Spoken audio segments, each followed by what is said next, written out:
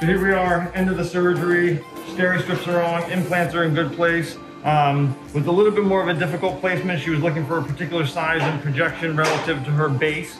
Um, so we ended up having to do a little bit more releasing, uh, but the implants are in good position. Uh, her chest will expand to accommodate the new volume, uh, and they should look their best in about three or four months.